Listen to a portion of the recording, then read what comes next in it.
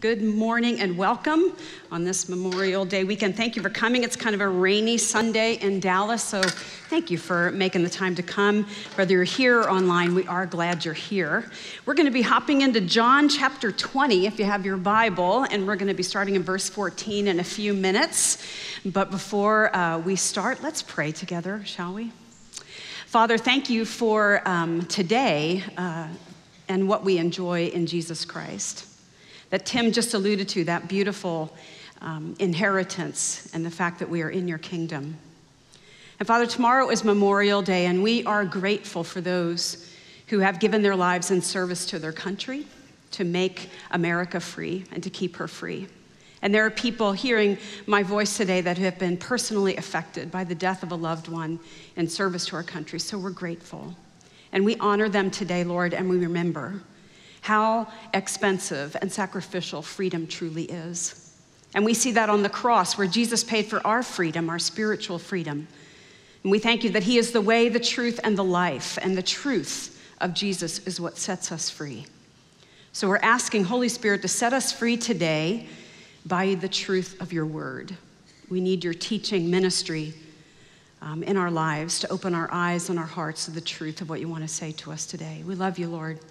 And we thank you for this time of worship together in your word. We pray this in Jesus' name. And everybody said, Amen. All right, my name's Joanne, and I'm the campus pastor here, and I have taken it upon myself to dub the month of May the month of It's Over.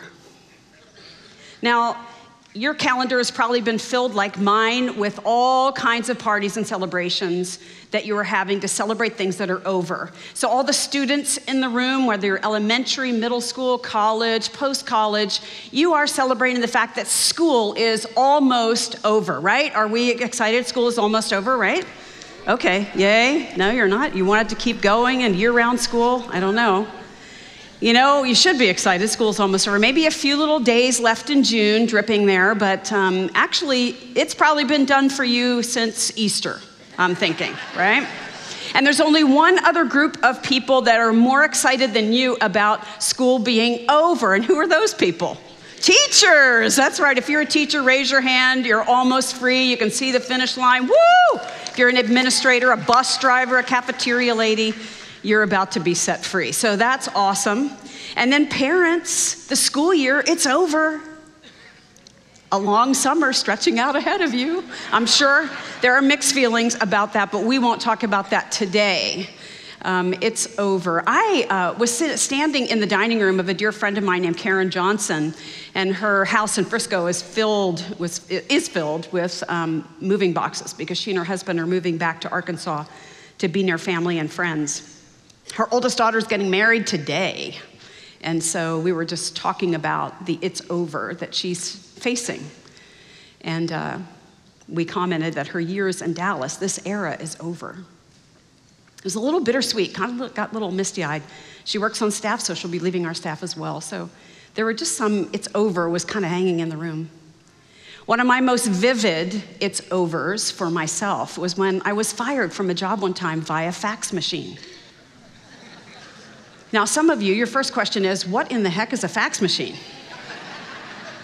so I can't go into that now, but the second question is, why a fax machine? That's rude, and you're right. My boss was in Denver at the time, and the project funding dried up, so we got the unfunding letter over the fax, and I was the only one being paid, so that meant me. So it's over, Joanne. It's really over. And it came at a horrible time because I was really kind of trying to rub two pennies together to stay alive, and to lose this job meant um, a lot to me.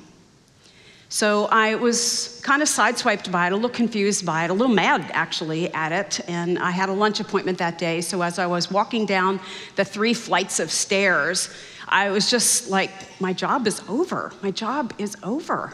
Like today, it's the last day. My job is over. And I felt emotionally and financially like I had whiplash. You know, overs, the idea of it's over, the feeling of it or the reality of it is a universal experience. Everyone has felt this way at some point or another. In fact, you can actually have this 95% of your life cool, and 5% of it feels like it's over in some way. Maybe things like this uh, an aspiring actress who auditions for a part and practices so much and then doesn't get the call back from the audition. And maybe she's thinking, my, my dream of acting, it's over. Or the really gifted young man or young woman who's interested in their sport, whether it's tennis or gymnastics or soccer or uh, baseball or football or tennis, whatever it is. And they practice so hard, they eat the right foods, they get enough rest, they're just going all out, but they don't make the team. And maybe this young man or young woman is thinking, my sports prospects, they're over. And then there's some people are in between jobs, and they now you can put your resume out over hundreds of sites. And, and you do that. And what if no hits come back? What if your job search is over? Maybe you had a huge fight. Don't fights always happen Saturday night? Did you notice that? Yeah, usually before church the next day or on the way to church. That's a good fight time, right? What if you have this huge fight with someone you deeply love, a friend, a parent, a sibling, a spouse, someone you're dating?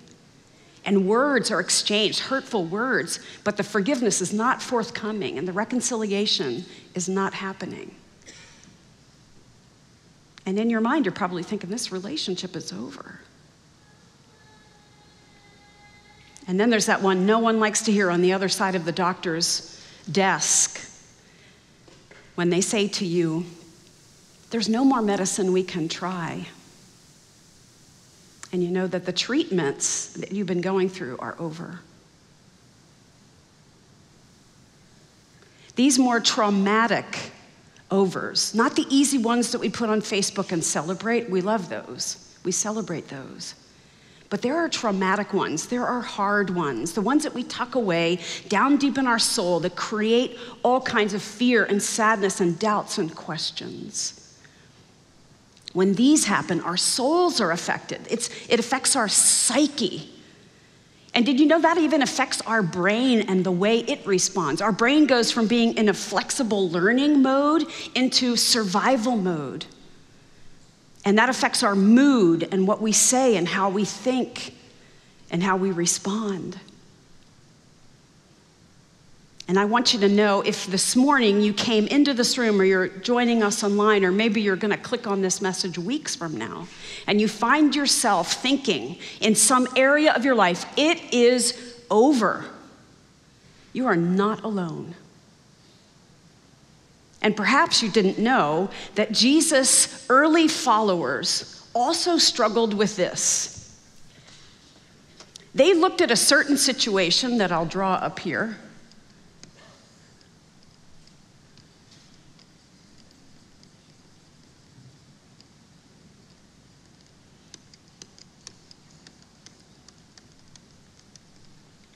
The empty tomb of Jesus. They looked at that situation. Here's what they said to themselves It's over. Everything we worked for, everything we thought and dreamed of, everything we practiced, everything we did, everywhere we followed Jesus, it's over. It's over. So if you feel like that today, I want to share with you the stories of just three of these groups of disciples that Jesus was interacting with and tell you their stories. And I pray with all my heart that the Holy Spirit encourages your heart today with what Jesus can do when we look and say it's over. So the first one is Mary Magdalene. Let me move this out of the way. So, Mary Magdalene had been possessed by seven demons when Jesus first met her. The word seven is not only literal, it's symbolic. It means she was completely possessed by these demons. And Jesus released her from these demons and gave her her very life back. Mary Magdalene became a devoted disciple of Jesus. In fact, she's there at the cross with a small group of people who hadn't deserted Jesus, but stood there watching him crucified and die because they loved him so. So, three days after he was buried, Mary Magdalene goes to the tomb The scriptures say deeply grieving. In fact, she's crying unrestrainedly. And she goes back to the tomb to recover the body of Jesus. And when she gets to the place where his body was laid, she sees that the tomb is open and she freaks out. She was not expecting to find the tomb open, and so she sprints as fast as she can to the disciples. She gets to where the disciples are staying, and Peter and John hear what Mary says. Mary says, The tomb is open, the stone's been rolled away. And so Peter and John start sprinting back to the tomb. And the scriptures say that John outran Peter, probably because John was a little younger and in better shape. He was doing more reps than Peter, right? So Peter, even though he's older, John gets to the tomb first, but Peter pushes past him and goes into the tomb and actually looks inside. And what he finds in there are the grave clothes that Jesus was wrapped in, still in the form of a body laying on that shelf where he once was put. And the cloth that was wrapped around Jesus' head is now neatly folded and in a separate little place, apart from the rest of the grave clothes. The scriptures tell us that Peter was confused. He didn't really know what to make of it. The scriptures say in the book of John that John, that other apostle, as he calls himself, saw and believed. But still, the Bible says they did not understand from the scriptures what had happened. And so they walk away from the tomb together back to where the other disciples are, and where they are is behind locked doors, fearful that the Jewish authorities that had crucified Jesus would also come for them and arrest them. So they're cowering in fear, sitting together behind locked doors. It's over. Thomas, Thomas had doubts that Jesus had risen from the dead. How could someone who dies rise again to life? Someone who was so horribly crucified beyond recognition. Now, other disciples are telling him that Jesus is appearing to them, and he doesn't believe it. In fact, this is what Thomas says. He said, Unless I put my hands in the nail holes, my finger in the nail holes in his hands, and unless I actually can put my hand in the side where they pierced it with a spear, I'm not going to believe. I am not going to believe. See, Thomas had nagging questions that kept being unanswered. He needed proof.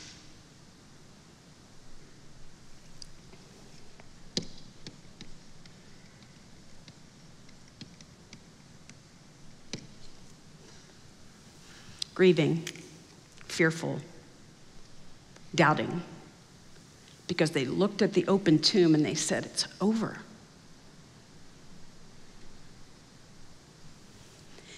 Funny, Jesus has a different perspective. You find that to be true? He looks at the same situation and he sees something completely different. Instead of seeing it's over, Jesus declares, oh no, it's only just begun. Do you hear Karen Carpenter, us older folks singing? It's only just begun. I'll stop there. So, most of you are like, Karen, who? Is she on staff here? I don't even know. Just Google it, people. Google it, you'll find. Jesus looks at it and he says, Oh no, it's not over. That empty tomb means it's just begun. What had just begun? What had just begun? Well, first of all, Jesus knew he was alive, so the resurrection had already happened, which would lead then to the ascension of Jesus. He's going to rise back into heaven visibly and bodily in the book of Acts in just a matter of weeks. The ascension triggers the outpouring of the Holy Spirit because Jesus said, When I go away, I will send the Spirit. And the coming of the Spirit is the birth of the church, the universal body of Christ. Not necessarily churches, but all people who come to know Jesus of all ages and all uh, times are part of the church. It also leads to amazing transformation of the disciples as they are turned from cowards behind locked doors into powerful witnesses to the gospel. And finally, it expands the kingdom. The kingdom is going to expand as the gospel goes to the world. This, Jesus knows. This, these people have no idea what's happening. So now you see the challenge and the problem. Jesus' peeps are stuck, right? And he has to get them from it's over, that mentality, that reality, and move them through that to the it's begun experience. How is he going to do that? What would he do? How is he going to move these people where they need to go? We're going to look at that in just a minute. So turn to John chapter 20. And we're going to start in verse 14. So let's pick up Mary. So Peter and John go back from the tomb and they sit behind the locked doors with the rest of the disciples. But Mary actually walks back to the tomb from that place. Peter and John is ran ahead of her. She's walking back very slowly, again, sobbing unrestrainedly because Jesus is gone. She wants his body. She's expecting a corpse. She gets to the tomb, and in through her tears, she finally looks inside the tomb. And when she looks inside the tomb, she finds two angels, one at the head where Jesus' head was laying, and one at the feet where Jesus' feet were laying. So they're standing there, sitting there, and they ask her a question. They say, Woman, why are you crying? This is a, a gentle rebuke. This is kind of the first little pass at, hey, it's not over. Why are you crying? The angels know what has happened. And then Mary is basically just saying, Look, would somebody just give me his body? Would somebody just release the body so I can have it? That dead body is precious to me. That's my Savior. That's my rabbi. And in verse 14, in this discussion with the angels, at this she turned around, the Bible says, and saw Jesus standing there. She probably heard his footsteps approaching, and she turns around away from the angels and she sees a man standing there. But she did not know that it was Jesus, the scriptures say. The reason she didn't probably are a couple. First of all, he looked very different than he did on the cross, most likely not in that disfigured form. Her tears would have obscured her perspective. This overwhelming grief would have clouded the way that she's seeing everything in this moment. And then post resurrection appearances, it's common for people to be kept from recognizing Jesus immediately. And we're not sure why that is, but it happens in other places in Scripture. She doesn't know it's him. So, verse 15, he asks her the same question that the angels ask Woman, why are you crying? And he adds a question Who is it that you're looking for? Thinking he was the gardener, that makes complete sense because it's a garden tomb. So, thinking she was a gardener, she said, Sir, if you've carried him away, you feel her frustration. Just tell me where you put him so that I can have him. Just somebody give me the body. And then, verse 16, Jesus says to her, her name. It's Miriam in the Hebrew. It's Mary. I don't know about you, but when someone you love says your name, there's something so beautiful about the sound of it. And in that one word, Mary, that name, she's on her way from it's over to it's begun. She's on her way. In verse 16, she answers and cries out in their common language, just the language of the everyday Aramaic, Rabboni, which means teacher. Just, it's you. It's you. Most likely, she dropped to his feet and began to really hold him. But Jesus says, Don't hold on to me. This literally means stop clinging to me. Mary, you're like a dryer sheet. Stop clinging to me. And the reason he's saying this is because he's ascending. He's in the process of ascending to his Father. His, his body looks familiar, but he's not the physical Jesus in a human body anymore. It's his glorified body, it's a different kind of body. And so their relationship is going to change. The intimacy will stay. All of the relationship stays, but the way they interact is going to change, especially as he ascends into heaven. She's got to get used to this. He's moving her from it's over to it's begun. Stop clinging to me, he says, for I have not yet ascended to the Father. I'm in the process of that. Go instead to my brothers and tell them, I am ascending to my Father and your Father, to my God and your God. Don't cling, Mary. This thing that has begun changes the relationship. Instead, go and tell. Jesus, the risen Jesus, gave the first announcement of the resurrection to a woman, a formerly demon possessed woman. She gets to tell the disciples that Jesus has risen from the dead. They still don't know. The first blush of that, the first words of that are put right in Mary's lap. Mary, go and tell them. Women weren't even admissible in court as reliable witnesses in this day and time. For Jesus to tell the most momentous, earth changing, shattering news in history to a woman is, well, we don't even recognize how amazing that is, how groundbreaking that is. And she gets another announcement because Jesus says, I'm going to my Father and your Father, my God and your God. What does that mean? Jesus is now showing and giving us the first, first hint of what we learn in Romans chapter 8 through the Apostle Paul the adoption that all believers have into the same relationship that Jesus shares with his Father. That intimacy, we are adopted into that intimacy. There is a distinct relationship between the Father and the Son, my God, my Father, but I share it with you, your God, your Father. I welcome you into the intimacy of Father and Son. You share it with me. She gets to tell that and tell it she does. Verse 18 Mary Magdalene went to the disciples with the news I have seen the Lord. And she told them what he had said, that he had said these things to her. She's immediately obedient. She goes and she tells. Now, the disciples, yeah, they're fearful. They're still behind these locked gates. So if you look at verse 19, let's pick it up in the. Um, the last part of the verse, 19b.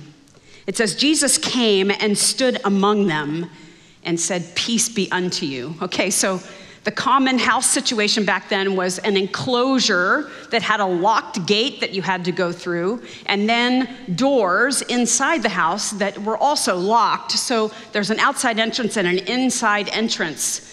And so Jesus, like, cruises right through the gate, right through the doors, and appears in the room. That is super cool. That is really cool that he can walk through walls, gates, doors, nothing stops him, and he suddenly appears in the room. Now remember, they're fearful and cowering. They're not expecting him to come. They think it's over, and their Jesus is standing right in front of them. I think they kind of wet themselves a little, maybe. It was fearful. In fact, the parallel passage to this in the book of Luke says they were super afraid. They were terrified that Jesus suddenly appeared in front of them. In fact, they thought he was a ghost. They were really frightened, which is probably why he says, Peace, peace, peace, peace, peace. Settle down, guys.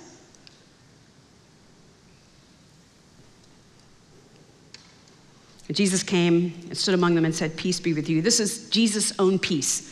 He said in the upper room to them, I'm going to give you not as the world gives that peace, but I'm going to give you my very own peace. The peace I have in my relationship with the Father, I'm giving that to you. The peace I have in every situation that let me sleep in a boat in a storm, I'm giving that to you because it's me. I am your peace.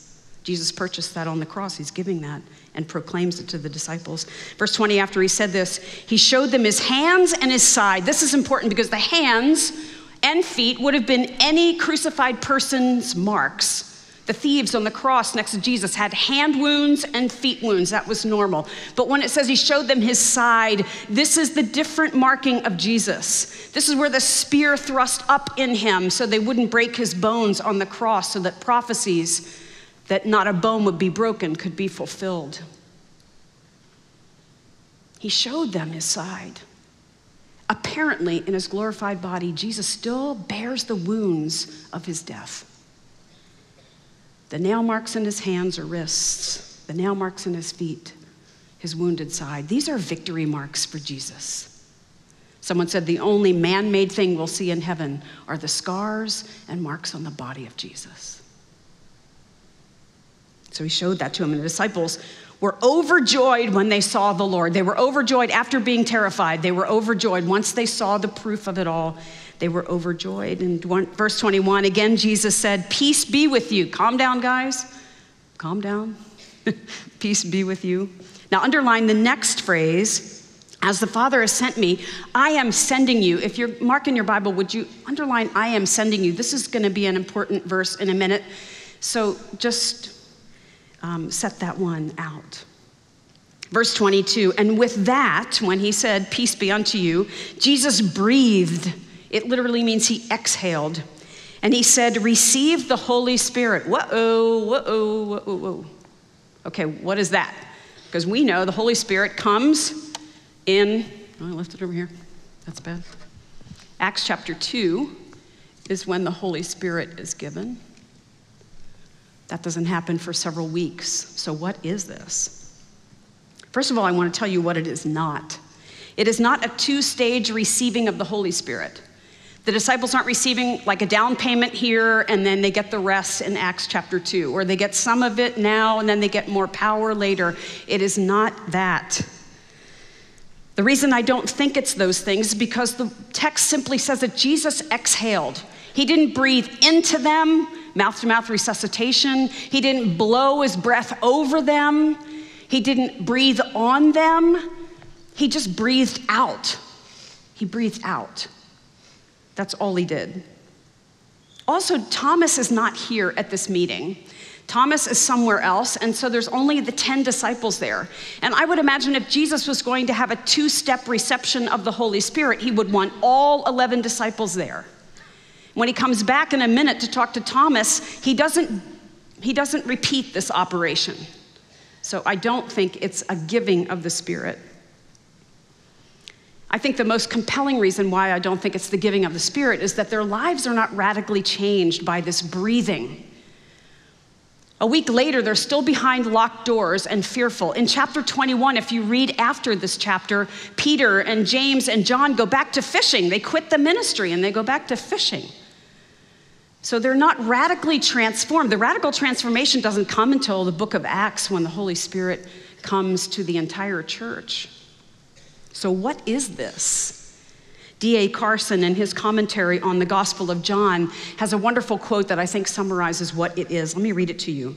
Jesus' exhalation and command to receive the Holy Spirit are best understood as an acted parable pointing forward to the full endowment still to come in the book of Acts. So, this is like an object lesson. And Carson uses the foot washing that Jesus did with the disciples as an example of this same thing.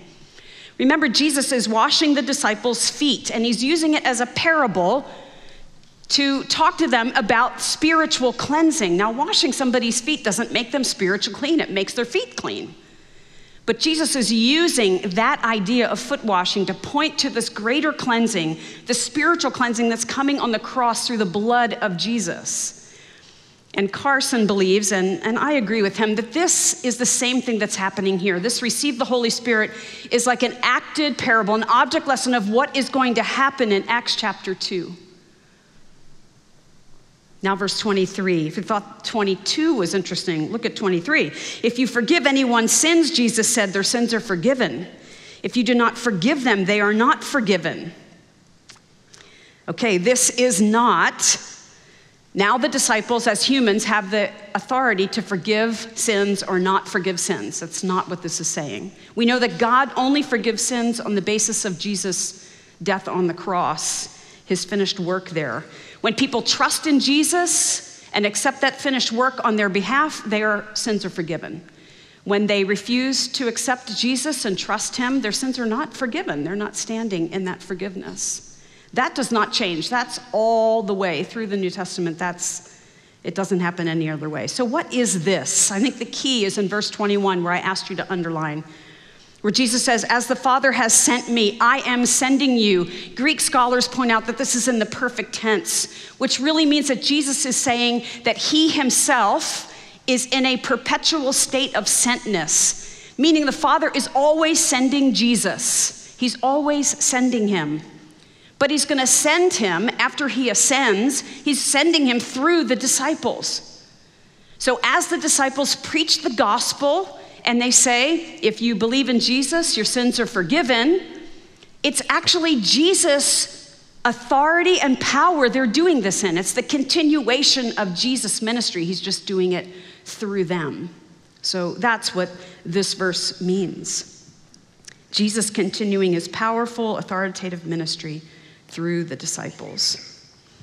So he says to the disciples, Peace, two times, and then continue my mission. Which is a gracious thing when you think they all betrayed him except for John.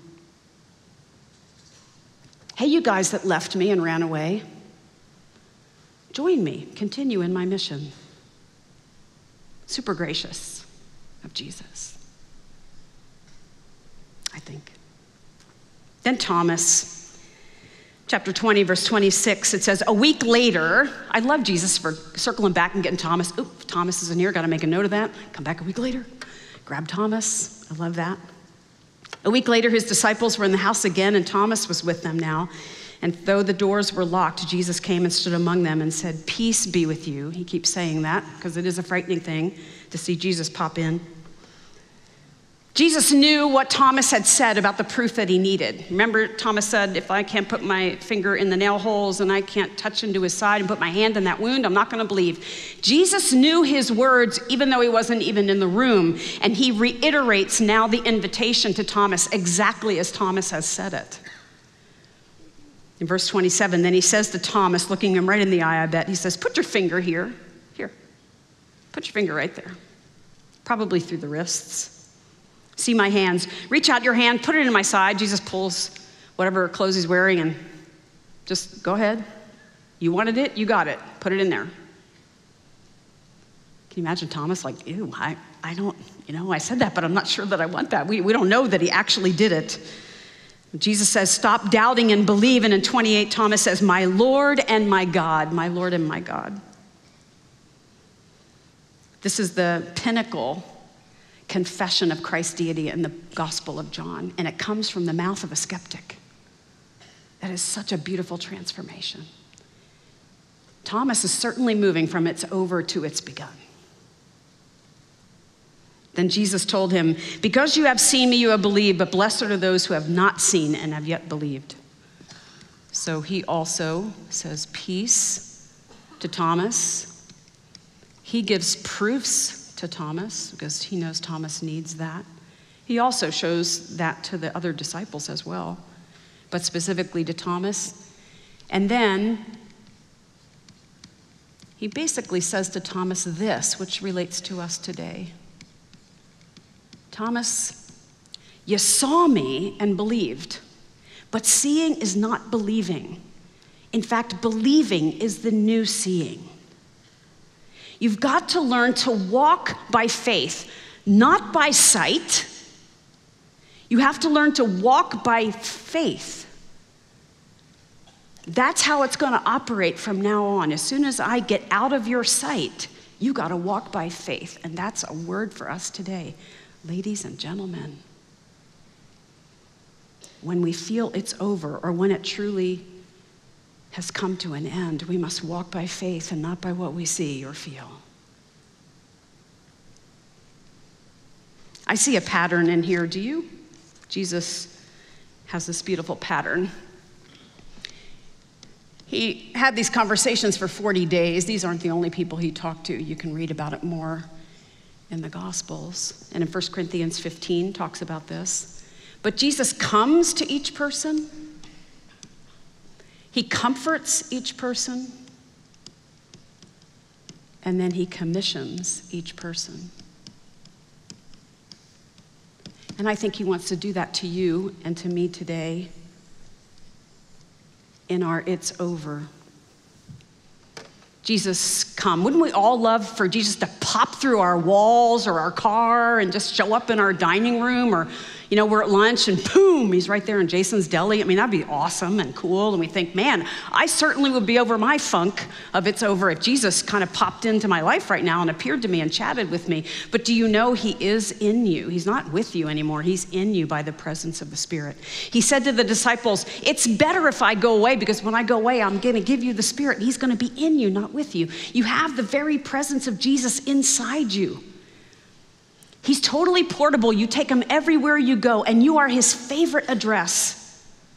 He lives in you. He is close as he is ever going to be to be in you. So when you say, Jesus, come, he's already here.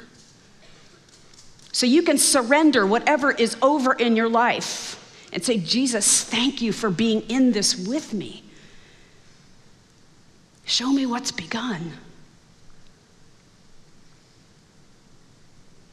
Then comforts. I love Jesus says Mary's name. Do you know that Jesus knows your name? He knows how many hairs are on your head. For some of you, that's not so challenging to count them. For the rest of us, the hair and our brush and our purse, we, you know, Jesus, the idea is he knows all about you. He knows you intimately. He loves you. You can trust him. He's in it with you. He also comforts with peace. You know, the Bible says Jesus doesn't give peace, He is peace. He is peace. You have Him in you in the person of the Spirit, and He is your peace. You can actually pray and say, Jesus, thank you for being my peace. Would you cause me to feel peace in this situation that feels so over? And I love that he commissions them because I think this is the step we leave out he doesn't shy back from saying, Look beyond yourself, even in this time of pain and doubt. Look beyond yourself because when you focus on the needs of other people, you actually get a lift. It actually helps move you into the it's begun. Go and tell someone about Jesus' love. And the other commissioning that we probably all need, I know I need this myself Let's learn to walk by faith and not by what we see or feel.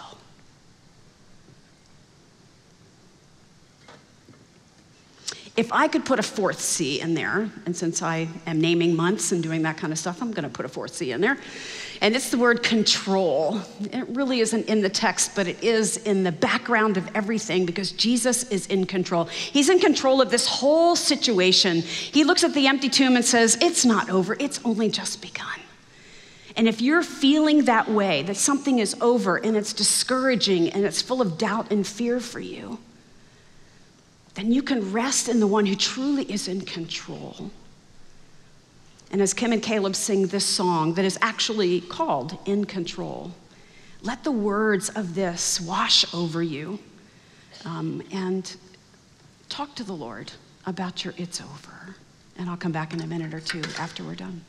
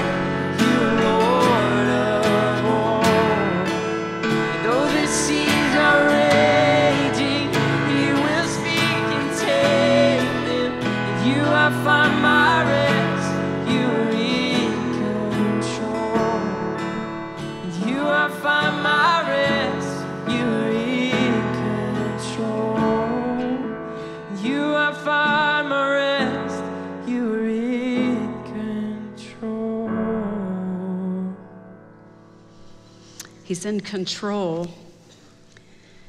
I didn't know that when I walked down those stairs after I lost my job. You know who my lunch appointment was that day? Pete Briscoe. And 24 years later, it has only just begun. I don't know if Jesus is going to transform your over, over lunch. He certainly can. He did for me once. He's able, but this I know. No matter what you feel is over with Jesus, it's only just begun. Would you trust him? Hope you have a fabulous week, and we'll see you next time. Amen.